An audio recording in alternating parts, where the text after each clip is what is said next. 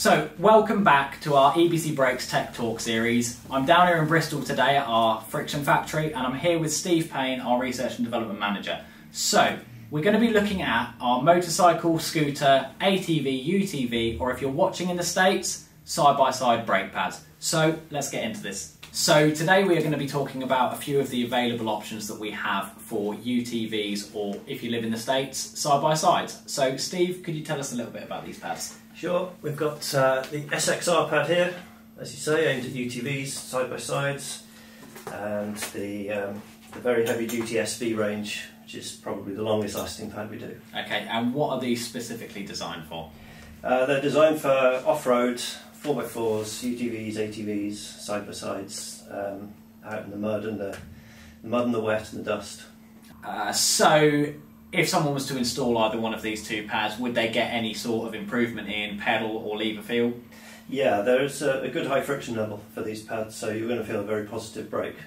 Okay, and I'm, I'm guessing from the name that these are not road legal. No, they're not. They're uh, they're engineered to be to be used off road in, in the in the muck and the mud and the dirt. Okay, and is it imperative that I use new EBC rotors with these, or can I use my original rotors? No, they'll work on the original rotors. I mean, we'd always recommend EBC rotors, um, but these it's not not a necessity to replace the rotors. Okay, and with these being a sintered compound, is it important to upgrade to braided lines or a higher temp brake fluid? Uh, again, it's not essential. Uh, you might get a benefit from doing that, but it's not an essential thing to do. Okay, and what goes into manufacturing these pads? Well, as in the name, they're sintered, which is uh, which is the production process. It's a very high temperature process, which literally fuses the metallic particles together. So it's uh, it's an extremely stable uh, material. So, Steve, will these pads hold up to race conditions? Yeah, absolutely. These these are uh, very suitable for race use. Okay, and what is the best way to bed these in?